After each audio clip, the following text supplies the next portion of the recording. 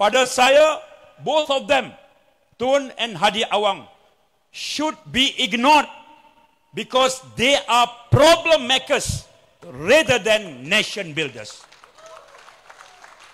Both are problem makers.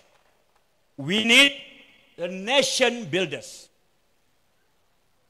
Both have been troublemakers for almost 30 years. And the last five years, both created instability to the country due to their selfish interest, not the country's interest.